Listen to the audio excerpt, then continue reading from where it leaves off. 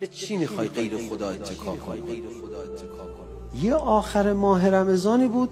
ما اینجا چند شب خدمت دوستان تو همین دانشگاه جلسه داشتیم. چند سال پیش بود یادم نیست.